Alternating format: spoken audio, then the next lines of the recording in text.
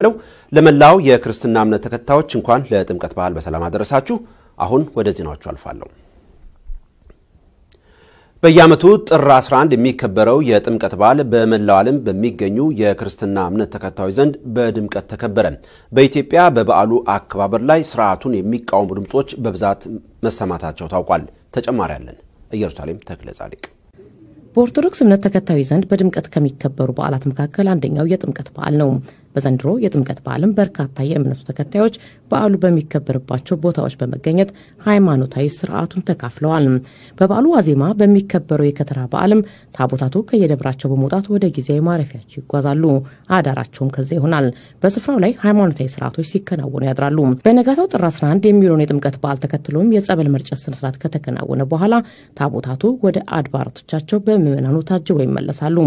ዛሬም በመላው ዓለም የሚገኙ ኢትዮጵያ ኦርቶዶክስ ተዋሕዶ እምነት ተከታዮች በዓሉን በድምቀት አክብረው ውለዋል። በኢትዮጵያ የበዓሉ አከባበር ከሌላው ጊዜ በተለየ መልኩ በፖሊስ በመከላከያና በደህንነት ኃይሎች ልዩ ጥበቃ ሲደረግለት እንደነበር የሚያገኘነው መረጃ ያመለክታል። ኢሳት ያነጋገራቸው የበዓሉ ታዳሚዎች በተለይ በአዲስ አበባ ገዢው ስርዓት ተቃውሞ ይነሳብኛል በሚል ጥበቃው በአልሞ ተኳሾች ጭምር የታጀበ ነበር በማለት ድባቡ አስፈሪ ነበር ሲሉ ገልጸውታል። በሌሎች የሀገሪቱ ከተሞች በዓሉ በድምቀት ሲከበርም ጎን ለጎን ከፍተኛ የተቃውሞ ድምጾች መሰማታቸውን ከደረሰ መረጃ መርዳት ችለናል። በአምቦ፣ ነቀምት፣ ጎንደርና ወልዲያ በነበረው ክብረ በዓል ወያኔ ቻውቻው የሚል የተቃውሞ መፈክር ጎልቶ ተሰምቷል።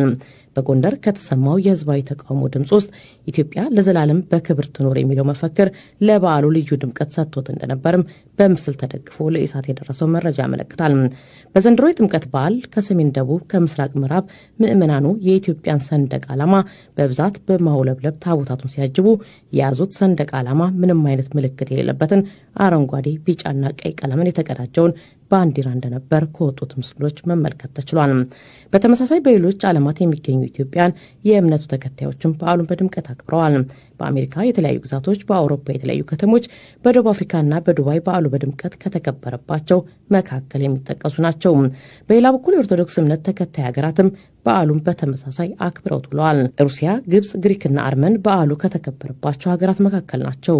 በሩሲያ በነበረው ክብረ በዓል ላይም የሩሲያው ፕሬዝዳንት ቭላዲሚር ፑቲን በባህረ ጥምቀቱ ታዳሚ ሆነው ታይተዋል።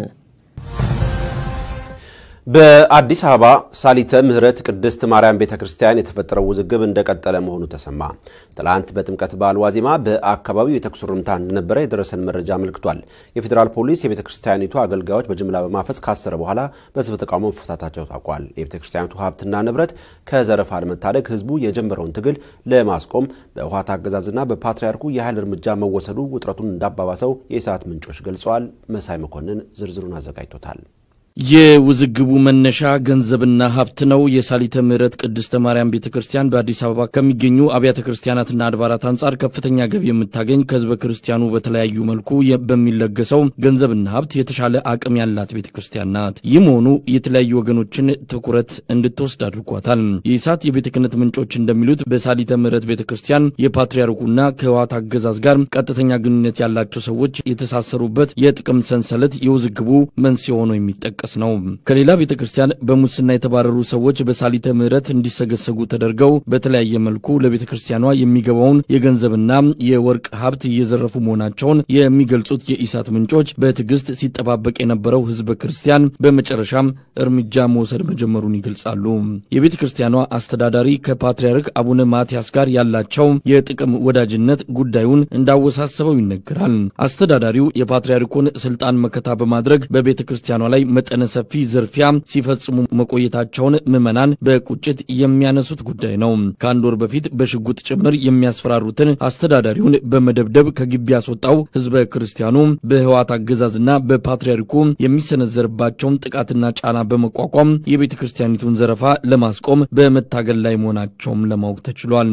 አስተዳዳሪው ወደ ቤተ ክርስቲያኒቱ ቅጥር ግቢ እንዳይደርሱ ሲከላከል የቆየው ህዝብ ከህወሓት አገዛዝ ታጣቂዎች ጋር በፍጥጫ ነው የከረመው። የአስተዳዳሪውን ቢሮ ጨምሮ ጨምሮ ገንዘብና ንብረት ያለባቸው ክፍሎች መታሸጋቸውን ተከትሎ ትላንትና በጥምቀት ዋዜማ ቆጠራ ለማድረግ በተጀመረው ጥረት ውዝግብ መፈጠሩን የደረሰን መረጃ አመልክቷል። የከተራን በዓል ከቤተ ክርስቲያኒቱ ቅጥር ግቢ ውጭ ለማክበር ታቦት ይዞ መውጣቱ ለዘራፊዎች ምቹ አጋጣሚን ይፈጥራል በሚል እዚያው በግቢው ለማክበር በሕዝበ ክርስቲያኑ ቢጠየቅም ከፖሊስ ጋር በተደረገ ስምምነት ታቦቱ ወደ ቀድሞ ማደሪያው እንዲሄድ ተደርጓል። ሆኖም በመንገድ ላይ ከፌዴራል ፖሊስ ጋር ግጭት መፈጠሩን የገለጹት የኢሳት ምንጮች በርካታ የቤተ ክርስቲያኒቱ አገልጋዮችና ምዕመናን መታሰራቸው የሕዝቡን ቁጣ እንዳባባሰው ጠቅሰዋል። ተቃውሞ ሲበረታም ፖሊስ ያሰራቸውን ወዲያውኑ መፍታቱን ለማወቅ ተችሏል። በወቅቱም የተኩስ ሩምታ እንደነበረ ተገልጿል። ፓትርያርክ አቡነ ማትያስ በሕዝበ ክርስቲያኑ ተቃውሞ የቀረበባቸውን የቤተ ክርስቲያኒቷን አስተዳዳሪ በመደገፍና በመከላከል ሕዝበ ክርስቲያኑን መዝለፋቸው ቁጣ ማስከተሉን የደረሰን መረጃ አመልክቷል።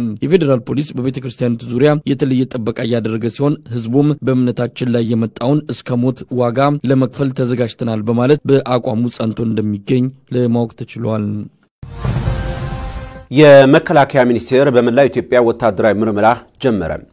በክልሎችና በአዲስ አበባ ከተማ ጭምር የተጀመረው ወታደራዊ ምልመላ ዓላማ ምን እንደሆነ ግን አልታወቀም።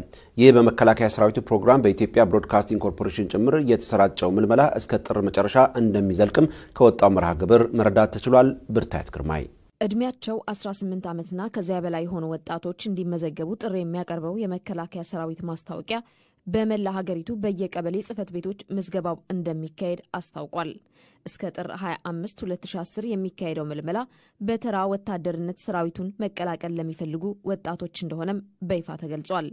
በጀነራል ሳሙራ የኑስ የሚመራው የሀገሪቱ መከላከያ ተቋም ይህን ማስታወቂያ ያወጣው በድንገተኛ ይሁን በመደበኛ የታወቀ ነገር የለም።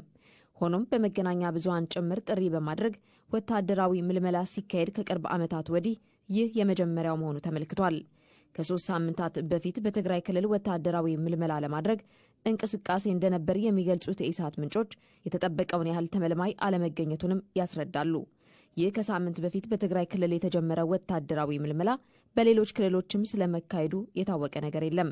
የግብፅና የሱዳንን ውዝግብ ተከትሎ በአካባቢው የተፈጠረውን ውጥረት እንዲሁም የኤርትራው ፕሬዝደንት ኢሳያስ አፈወርቂ በቅርቡ ኢትዮጵያን በተመለከተ የሰጡት መግለጫ የህወሓት ኢህአዴግን መንግስት ስጋት ውስጥ ያስገቡ ክስተቶች ስለመሆናቸው በፖለቲካ ምሁራን ዘንድ እየተገለጸ ይገኛል። ኢትዮጵያና ኤርትራ በግንቦት 1990 ወደ ይፋ ጦርነት ካመሩበት ጊዜ ወዲህ በሁለቱ ሀገራት መንግስታት መካከል ከፍተኛ ቅራኔ መኖሩ ይታወቃል። አንዱ መንግስት የሌላኛውን ተቃዋሚ በማስጠጋት ድጋፍ በማድረግ ላይ መሆናቸውም በይፋ የሚገለጽ ሆኗል። የህዝባዊ ወያኔ ሓርነት ትግራይ ቡድንን አዲስ አበባ ድረስ በታንክና በመድፍ እየደገፉ ያደረሱት የሻዕቢያ ተዋጊዎች መሆናቸውን የኤርትራው ፕሬዝደንት ኢሳያስ አፈወርቂ በቅርቡ መግለጻቸው ይታወሳል። ኢትዮጵያና ሱዳን የጋራ ወታደራዊ ኃይል በድንበሮቻቸው አቅራቢያ ለማስፈር ተስማሙ። ሁለቱ ሀገራት የጋራ ወታደሮቻቸውን የሚያሰፍሩት በአባይ ግድብ በሚገኝበት የቤኒሻንጉል ክልልና በሱዳን የብሉ ናይል ግዛት ድንበሮች አቅራቢያ ነው። በሱዳኑ የብሉ ናይል ግዛት ዋና ከተማ ዳማዚን የተፈረመው ስምምነት የተካሄደው በአፍሪካ ቀንድ ከቅርብ ጊዜ ወዲህ እየተከሰተ ያለውን ውጥረት ተከትሎ መሆኑ ታውቋል። ምናላቸው ስማቸው ዝርዝር አለው። በአፍሪካ ቀንድ አካባቢ ባሉ ሀገራት ከወትሮ የተለየ ውጥረት መንገሱ ይነገራል። ምክንያቱ ደግሞ የአካባቢው ሀገራት ጎራን የለየ ግንኙነት መጀመራቸውና በጥርጣሬ መተያየታቸው መሆኑን የፖለቲካ ተንታኞች ይናገራሉ። ሱዳን ከግብፅና ከኤርትራ ጋር በድንበርና በፖለቲካዊ ጉዳዮች አታካራ ውስጥ መግባቷን ዘገባዎች እያመለከቱ ይገኛል። እንደሚባለው ሱዳንና ግብፅ እርስ በርስ መጠራጠር የጀመሩት የካርቱም መንግሥት የቀይ ባህር ዳርቻ የሆነች የስዋኪም ደሴትን ለቱርክ አሳልፎ ሰጥቷል መባሉን ተከትሎ ነው። ወትሮም ቢሆን ባህላዊ ወሰን በድንበር ምክንያት ከግብፅ ጋር ስትወዛገብ የነበረችው ሱዳን አባይ ግድብን አስመልክቶ ኢትዮጵያን መደገፏም ሁለቱን ሀገራት ይበልጥ እያወዛገባቸው ይገኛል። ሱዳን በግብፅ የሚገኙ አምባሳደሯን እስከ መጥራት ያደረሳትም ይኸው ጉዳይ ነው ነው የተባለው። ሱዳን ከኤርትራ ጋር ባላት እየሻከረ የመጣ ግንኙነትም ከሀገሪቱ ጋር የሚያዋስናትን የከሰላ ድንበር መዝጋቷንና በአቅራቢያውም ወታደሮቿን ማስፈሯ ይነገራል። የኤርትራው ፕሬዚዳንት ኢሳያስ አፈወርቂ ግብፅን ባለፈው ጊዜ መጎብኘታቸውም የጉዳዩን እየጠነከረ መምጣት ነው ያመላከተው።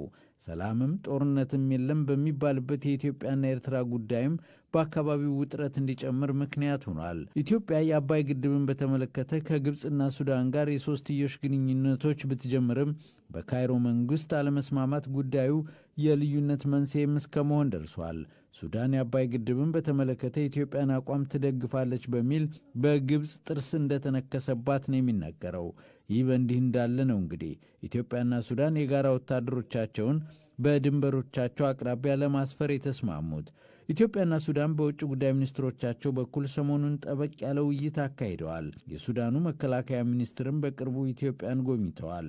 ሁለቱ ሀገራት የጋራ ወታደሮቻቸውን የአባይ ግድብ በሚገኝበት የቤኒሻንጉል ክልልና በሱዳን የብሉ ናይል ግዛት ለማስፈር ተስማምተዋል። Middle East እንደዘገበው በስምምነቱ መሠረት ኢትዮጵያ ማንኛውም አካል ድንበሯን ተጠቅሞ ሱዳንን ቢያጠቃ በጋራ የመመከት ኃላፊነት አለባት።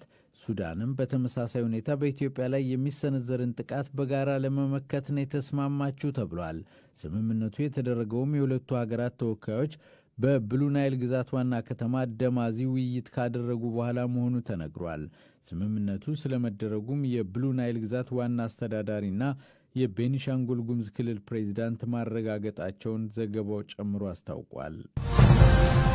ኢትዮጵያውያን የውጭ ምንዛሪ ወደ ሀገር ውስጥ ባለመላክ የህወሓትን አገዛዝ ለማዳከም የሚያስችሉ አቅጣጫዎችን የሚያሳይ ጥሪ ተላለፈ። ዓለም አቀፍ የኢትዮጵያን የጋራ ግብረ ኃይል ኢትዮጵያን ያስተላለፈው ጥሪ ሶስት መንገዶች በመጠቀም የህወሓትን አገዛዝ ማዳከም እንደሚቻል ተመልክቷል። አንደኛው Western Union ና MoneyGram ከመጠቀም ይልቅ ሌሎች አማራጮችን መጠቀም የሚል ነው። ሁለተኛ ደረጃ ደግሞ ሌሎች አማራጮች ካልተገኙ በባንክ በኩል መላክ የግድ ከሆነ የሚላከው ገንዘብ መጠን መቀነስ እንደሆነም ተቀምጧል። ሶስተኛ ደረጃ የተቀመጠው አቅጣጫ እንደሚያመለክተው ለንግድ ለግንባታና ገንዘብ ለማስቀመጥ ሲባል የሚላከው የውጭ ምንዛሬ ህወሓትን የሚያጠናክር በመሆኑ ለጊዜው ማቆም ይገባል ይላል። በዓለም አቀፍ የገንዘብ ድርጅት የቦርድ ዳይሬክተሮች መግለጫ መሰረት በኢትዮጵያ ያለው የህወሓት አገዛዝ የውጭ ምንዛሪ ክምችቱ ለሁለት ወራት እንኳ አይበቃም። እናም የኢትዮጵያ የህዝብ ትግል ለማገዝ የውጭ ምንዛሪ ወደ ኢትዮጵያ ባለመላክ የውጭ የሚኖሩ ኢትዮጵያውያኖች እንዲተባበሩ ጥሪውን አስተላልፏል።